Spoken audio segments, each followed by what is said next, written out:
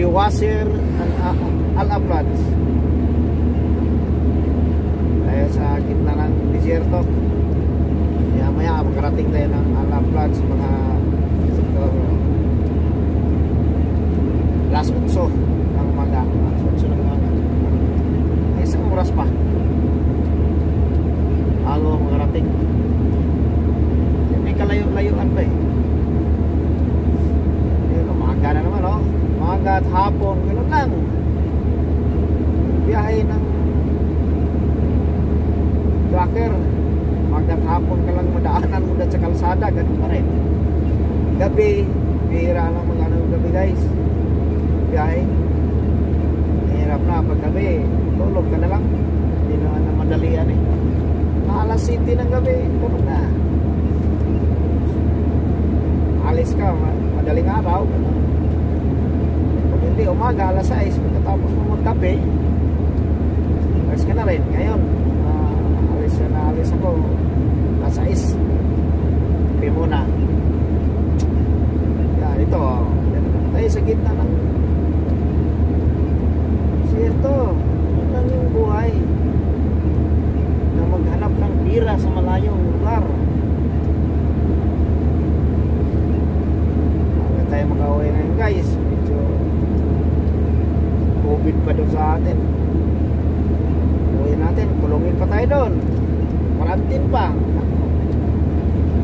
Kunti nga lang yung bakasyon tayo na tatlong 85 days, kulungin ang mga 20 o 15 days.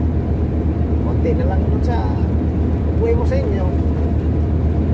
Ayan, paliban mo na ng uwi. August pa yung natapos yung ano kay. Ngayon, ano, ano na, advance na. December na ngayon. Lapit na pala mga Christmas na naman. Dito, walang Christmas mga bis, mga bay. Walang uso-uso Christmas daw eh. Ah, sa bagay, pag Christmas, mga Pilipino sa mga Pilil Boys. Kung ano lang yun. Luto-luto lang minsan. Na.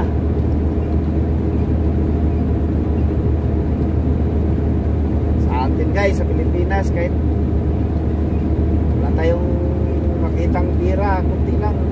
Maghanap talaga pag ano na, Pasko na. Hanap talaga ng paraan na makapaghanda na. Minsan yung iba nga, maglilitsyon pa eh. Sarap ng buhay doon sa atin. Kahit, yun ang sinasabi, kahit hirap, basta sarap. Ganun yun. Kahit hirap, basta sarap. Diba, mga bes, mga bay? Parang ano lang eh. Basta labing, sagsaging, basta labing. Ganun lang yun. Eh, ngayon, hindi na mag-oso-oso yung labing-labing sa saging guys. Kasi, labing naman kayo, wala naman kayong pera pang gasto ng, siyempre, halimbawa, gasto ng mga pag-aaral ng anak mo, mga anak. Anong magawa dyan sa labing-labing na yan? Kailangan talagang baga magsakripisyo ka. Hindi mo naman laging inisip yung sarili mo lang. Isipin mo yung kinabukasan ng anak mo. Ala, mapunta naman sila dun sa mga ayos-ayos na buhay. Kapag-aral, aral sila. Maganda yun yung trabaho nila pagkatapos lumaki na sila. Hindi sila masyadong nahirapan kasi nakatapos ang mag-aral eh. Malaki-laki yung sahod. Eh, hindi natin inuin yung nagaya sa atin. Sa, sa akin, eh, wala. Kunti lang. Kumbaga, ropor. Kaya, kayod. Interest buhay pa para meron kang buhay ng pamilya mo at saka yung mga anak mo. Ganun man yan. Kaya mga guys, mga bay, kung magatiis-tiis mo na, balang araw, makamtan mo na rin yan.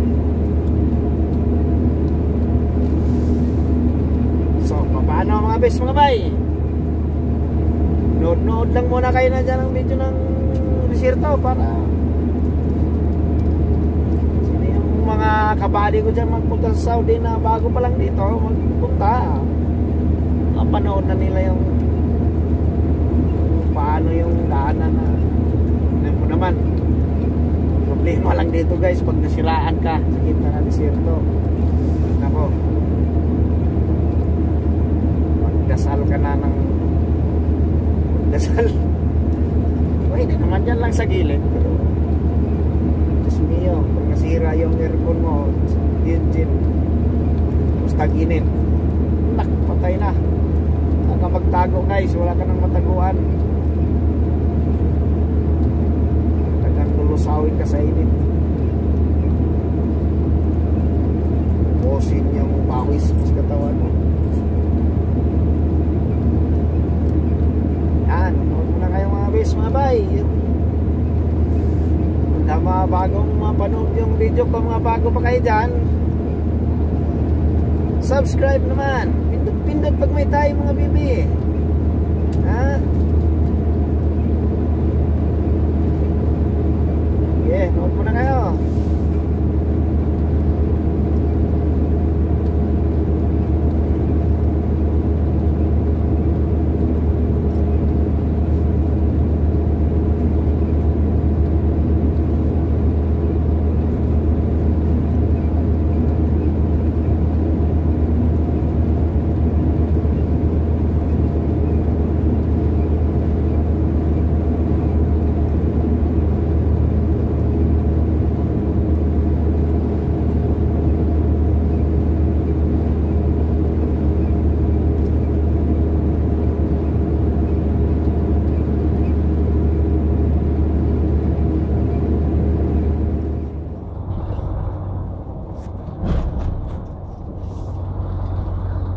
Ayan mga bis mga bay.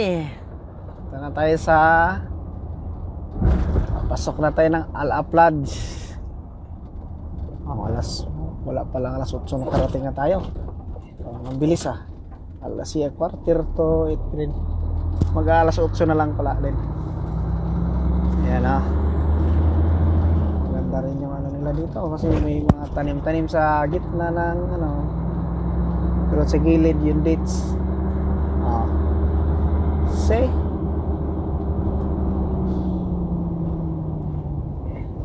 Wala pa siguro truck ban dito guys. Kasi nandun pa naman yung truck isa baka mamaya doon sa unahan.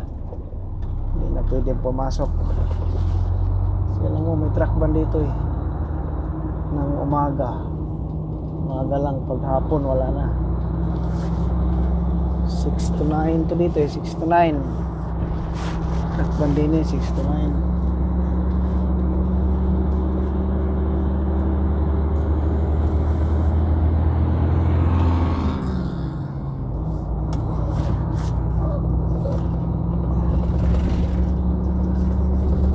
Sunod lang tayo dito sa ano, truck na isa. Nasa unahan. Pag kuminto sa hinto.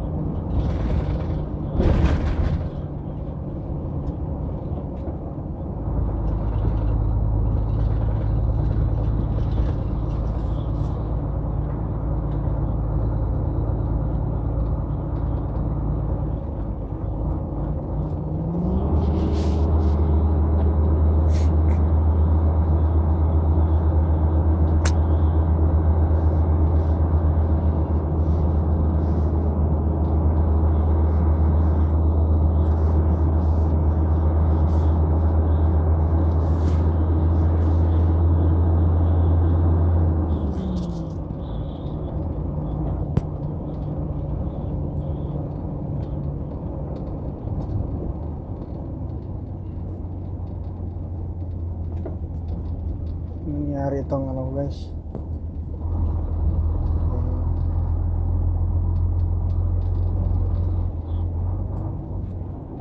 Gauge ko ng gas ko bakit di pa nagbawas? Posible na. Nagbawas dyan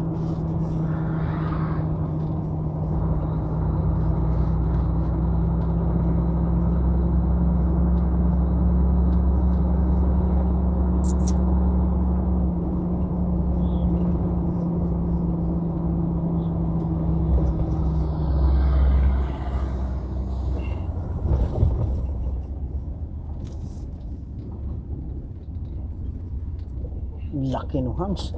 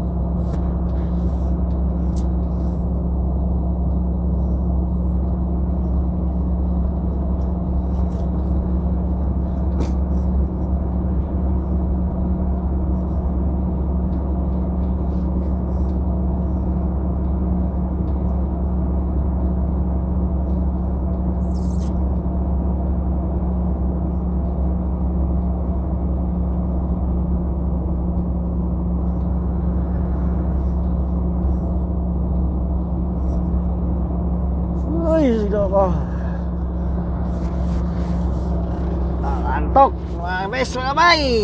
Ay, Diyos ko. Sarap na tulog umaga pa.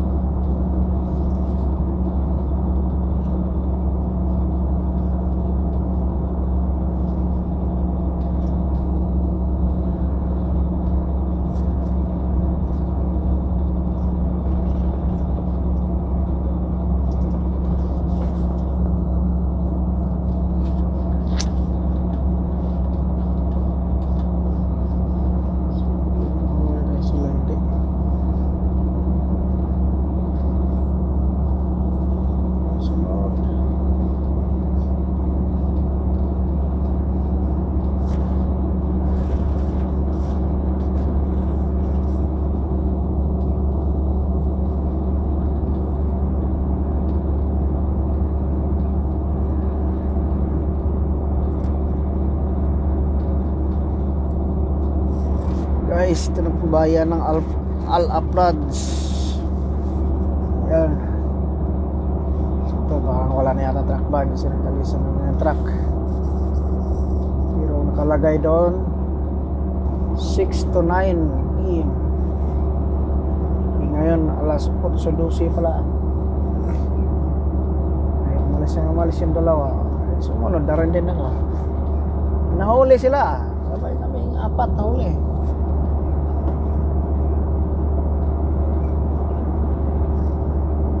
Parang wala sila kasi dito man ilag mo sa bayan to, daanan. Hindi mo doon sa mismong bayan, dito lang sa gilid. Kaliwa na dito sa may.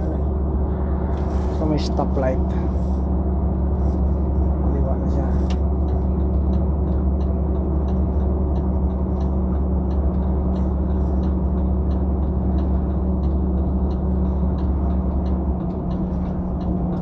Diretso mo doon dadaan sa gitna ng bayan i-are pagilid lang siya pagilid na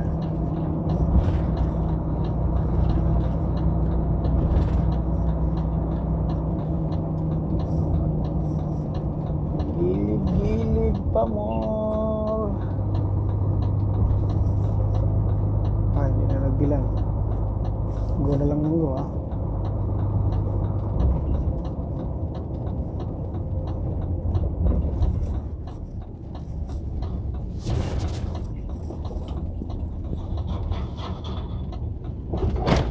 Yun.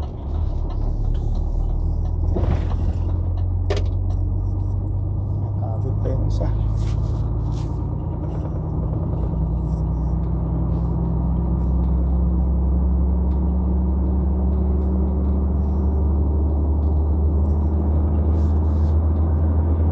Guys, pagilid lang.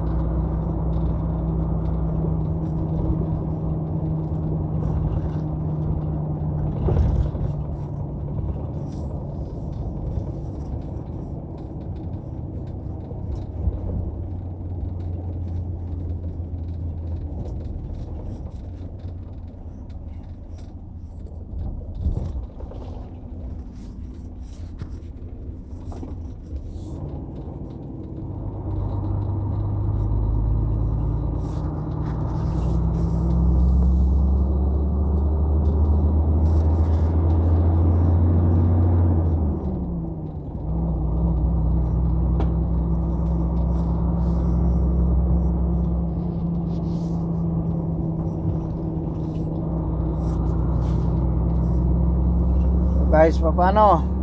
Mamaya, kasunod natin dito guys, ano, bayan, Hota. Ah, galing dito sa Uplands, Hota, nasa mga 140 kilometer. Sige guys, sige, paano? Mamaya na naman.